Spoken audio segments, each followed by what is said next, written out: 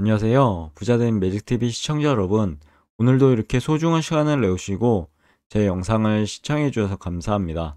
오늘은 2023년 9월 9일 저녁 시간입니다. 오늘 나눌 주제는 한국거래소에서 발표한 미국 테크, 그리고 2차 전지, 그리고 마지막으로 존속기한형 ETF 총 6종목 신규 상장 소식을 한번 말씀드려보자 하는데요. 우선 상장 개요입니다. 한국거래소는요.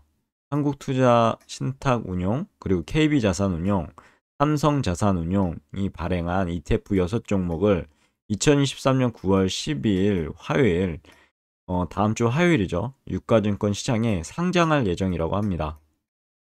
신규 상장 종목 개요에 대해서 한번 보시죠. 우선 한국투자신탁운용에서 발행한 상장할 예정인 어, 에이스 미국 빅테크 Top 7 플러스 그리고 에이스 미국 빅테크 Top7 플러스 레버리지 합성이고요.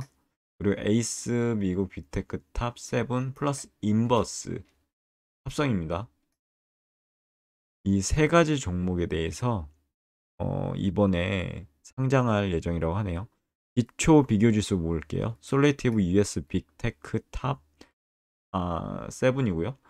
Plus Price Return Index라고 보시면 될 것 같습니다. 지수 산출 기간은 Solactive, 복제 방법은 우선 미국 빅테크 Top7 플러스 같은 경우는 실물 passive고요. 반면에 레버리지나 인버스는 합성이고 passive입니다. 신탁 원본액은 Top7 플러스는 80억 원, 레버리지도 80억 원, 인버스도 80억 원이네요. 1자당 가격은 좀 다릅니다. 빅테크 Top7 플러스 같은 경우는 만원이고요. 역시 레버리지도 만원입니다.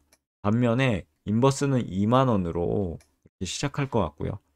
총보수 한번 보시죠. 운용보수. 우선 어, Top7 플러스 같은 경우는요. 어, 총보수는 0.3%, 운용보수는 0.27%입니다. 그리고 레버리지 같은 경우는 총보수가 0.6%, 운용보수는 0.5%, 그리고 인버스 같은 경우는 총보수가 0.6%, 운용보수는 0.5% 이렇게 되는 것 같고요. AP LP는 셋 다 모두 한국 키움입니다. 이어서 KB자산운용 하고요. 삼성 자산운용에서 이번에 상장하게 될 ETF 한번 보시죠. 우선 KB자산운용에서는 2차전지 Top10 그리고 2차 전지 Top10 인버스 합성 두 종목이고요. 어, 우선 보시면 기초 비교 지수는 iSelect 2차 전지 Top10 지수 시장 가격 지수고요. 지수 산출 기간은 NH 투자증권 복제 방법은 우선 2차 전지 Top10 같은 경우는 실물 passive고요. 인버스는 합성 passive입니다. 신탁 원본액은 어, Top10 같은 경우는 210억 원, 인버스는 100억 원이고요. 1자당 가격은 2만 원으로 동일하네요. 그리고 총보수는 좀 다릅니다. 어, Top10은 0.07%, 운영보수는 0.039%고요. 반면에 이제 Top 10 인버스 같은 경우는 총보수가 0.49%, 운영보수는 0.44%입니다. AP LP 같은 경우 참고하시면 좋을 것 같고요. NH 미래 키움 메리츠 신영 하나 KB고요. 반면에 인버스는 NH 미래 키움 메리츠 신영입니다. 다르죠. 그리고 KODEX 그러니까 삼성 자산 운용에서 상장할 ETF 보시죠. KODEX 24-12 은행채 double A plus 이상이죠. active ETF입니다. 어, 기초 비교 지수는 KAP 24-12 은행채 총수익 지수고요. 지수 산출 기간은 KAP 한국자산평가입니다. 복제 방법은 실물 active ETF라 보시면 될 것 같고요. 신탁 원본액은 1,010억 원, 1자당 가격은 만원으로 시작할 것 같고요. 총보수는 0.05%, 운용보수는 0.043%입니다. AP LP는 SK, 삼성, 이베스트, 미래, 키움, 현대차, NH KB 하나고요. 이로써 상장일 기준으로 ETF 상장 종목 수는 총 768 종목으로 늘어나게 됐습니다. 상장 배경 및 주요 특징에 대해서 한번 알아볼게요. 우선 에이스 미국 빅테크 Top7 플러스 등 세 종목, 레버리지 있고 인버스가 있죠. 이것은 이제 미국 나스닥에 상장된 테크 종목 중 시총 상위 10종목에 투자하는 상품이라고 보시면 될 것 같고요. 그리고 미국의 반도체 지원법, 일본의 반도체 보조금 지원, EU의 반도체법 등 각국 정부의 반도체 산업 지원 확대 정책과 맞물려 맞물려서 이제 tech 기업 주가의 회복 가능성이 주목한다고 합니다. 투자 대상 종목 중 시총 상위 7종목에 더욱 중점을 두어 투자 비중을 차별한다고 하고요. 여기 보면은 시총 1위에서 5위까지는 각 15% 동일 가중이고요. 총 75%입니다. 시총 6위부터 7위까지는 각 10% 동일 가중 방식, 그리고 총 20%. 그리고 시총 8위부터 10위는 총 5% 내에서 동일 가중으로 안분한다고 하니까요. 이 부분 투자 비중 결정 방식 꼭 머릿속에 넣어두시면 좋을 것 같습니다. 그리고 이어서 KBSTAR 2차 전지 TOP10 ETF에 대해서 보시면요. 어, 높은 성장세가 장기간 지속될 것으로 예상되는 2차 전지 산업의 시총상위 10종목에 집중 투자한다고 합니다.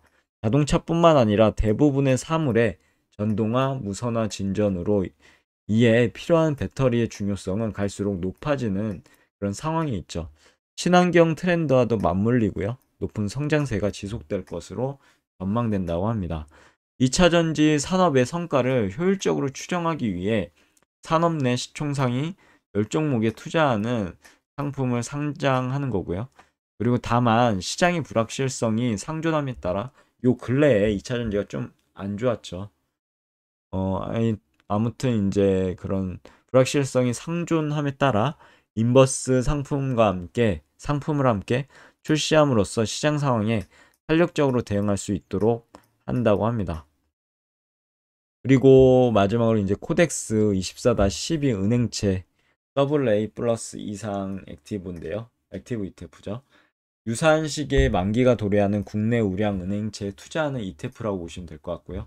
은행채는 국고채 다음으로 신용 경색 위험이 낮아 안정적인 투자 수단이라고 보시면 될 것 같습니다. 존속기한형 ETF는 시, 어, 해당 기간 경과에 따른 금리 변동 영향을 최소화하고 투자 시점의 YTM을 만기 시점에 수령 가능한 그런 상품이라고 보시면 될 것 같고요. 그럼 이어서 투자 유의사항 및 참고사항 보시겠습니다. 운영 비용, 구성 종목 교체 등에 따라 지수 성과야 이제 운영 성과가 괴리가 발생할 수 있겠죠. 그래서 이 기초 지수 등 고유의 상품 구조에 대한 정확한 이해가 필요하게 됩니다. 어, 그리고 레버리지 인버스 ETF의 특성에 대해서 한번 알아두시면 좋을 것 같은데요. 상품 특성상 장기 투자 시 정방향과 누적 수익률 차이가 발생할 수 있으니까 참고하시면 좋을 것 같고요. 특히 기초지수의 등락이 반복 시 기초지수 누적 수익률과 기간 수익률 간의 차이는 더욱 확대될 수 있어서요. 단기 투자에 적합하다고 보시면 될 것 같습니다. 이어서 합성 ETF의 특성도 알아두시면 좋겠죠. 거래 상대방과의 장애 파생 상품 계약을 이용해서 상품을 운영함에 따라 추가적인 비용이 발생하고요. 동 비용에 의해 지수성과와 운용성과 간의 괴리가 발생할 수 있다는 점 유의하셔야 되고요. 환노출 ETF의 특성 보시면 ETF 편입 자산에 대한 별도의 환해지를 하지 않으므로 향후 환율 변동 위험에 노출 가능하고요. 그리고 존속기한형 ETF의 특성 보시면 투자 시점의 YTM과 실현 수익률이 상이할 수 있고요. ETF 존속 기간 기한과 편입 채권의 만기 불일치로 운용 성과에 부정적 영향 또한 미칠 수 있음을 간과하시면 안 될 것 같습니다. 어, 이어서 active ETF 특성도 알아두시면 좋겠죠. 운용 능력에 따라 ETF 운용 성과가 달라집니다. 그래서 달라질 수 있고 추적 오차가 크게 발생할 수 있음을 인지할 필요가 있겠습니다. 그리고 총 보수 이외에 기초지수 사용료, 매매 비용, 회계 감사 비용 등의 기타 비용이 추가적으로 발생할 수 있음에 꼭 주의하셔야 될 것 같고요. 투자자 이해를 돕기 위해 메일에 어, 납부자산 구성 내용 PDF를 체크 단말기 거래소 및 자산운용사 ETF 홈페이지에 제공할 예정이라고 합니다. 이 부분도 꼭 보시면 좋을 것 같고요.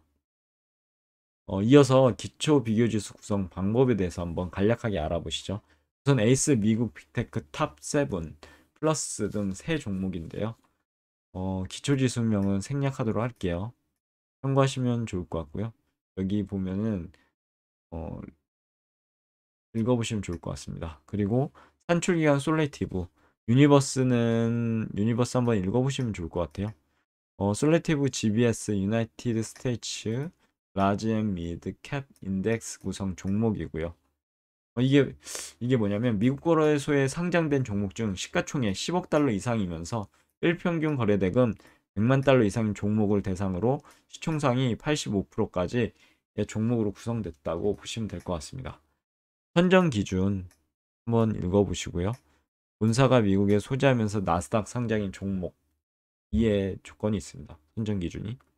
그리고 구성 종목 수는 10종목이라고 보시면 될 것 같고요. 비중 결정 방식은 시가총액에 따라 이제 달라지는데 어, 뭐 이거 설명드렸으니까 skip하도록 하겠습니다. 정기 변경은 매, 매 이제 2월, 5월, 8월, 11월 산출 기준일 그리고 산출 시간 참고하시면 좋을 것 같고요. 이어서 KBSTAR 2차전지 TOP10 등 두 종목인데요. 기초지수명은 iSelect 2차전지 TOP10 지수, 시장 가격 지수고요. 산출기관은 NH 투자증권, universe는 iSelect 2차전지 지수의 구성 종목이라고 보시면 될 것 같습니다.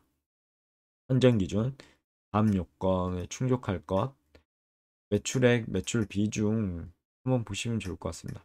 심사일 기준도 참고하시면 좋을 것 같고요. 그리고 유동시가 총액 순으로 상위 10종목을 선정한다는 내용 구성 종목 수는 10종목 비중 결정 방식은 유동시가 총액 가중 방식 그리고 정기 변경은 연 4회 2월, 5월, 8월, 11월 마지막 영업일 햇비율은 15% 산출 기준일 산출 시간 참고하시면 좋을 것 같고요.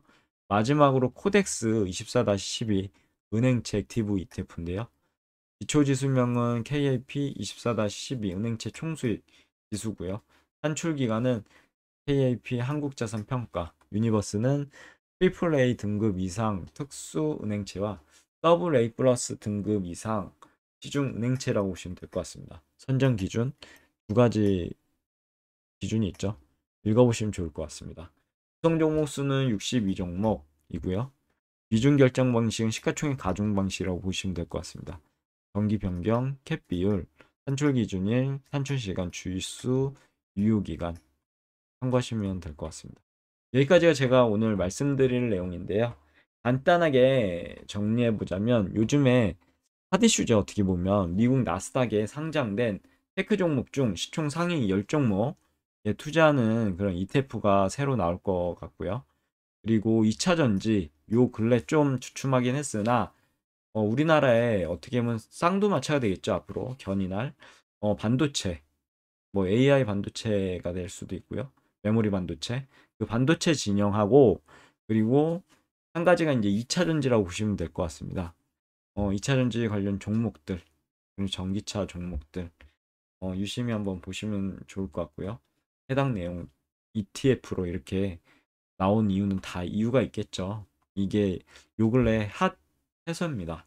그래서 이런 부분 혹시나 제가 설명드린 부분에 대해서 만약에 이해가 잘 안 가신다 보시면 해당 내용 여러모로 자가 이제 판단하시고 공부해 보시면 좋을 것 같습니다. 어, 보통 이제 이런 좀 더 자세히 하려면 이제 상장 이후에 이제 해당 그 한국투자 신탁 운용이라든가 KB자산운용, 삼성자산운용에 방문해 보시면 어, 해당 좀 더 자세하게 나와 있거든요. 그런 부분 참고하시면 좋을 것 같습니다. 어, 오늘 내용 여기까지고요. 내일도 더 좋은 컨텐츠로 찾아뵙도록 하겠습니다. 이상입니다. 감사합니다.